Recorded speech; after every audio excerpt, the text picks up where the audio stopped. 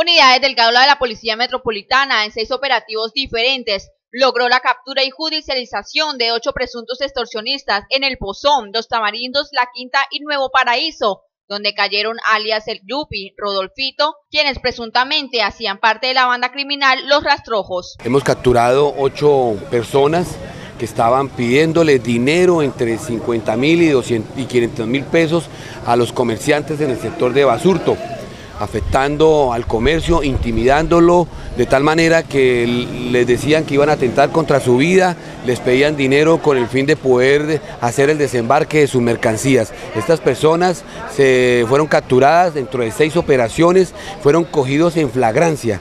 De igual manera, pues se dio la captura de dos personas reconocidas con el alias de Yupi y Rodolfito, quienes pertenecen a las bandas criminales de los urabeños y los rastrojos.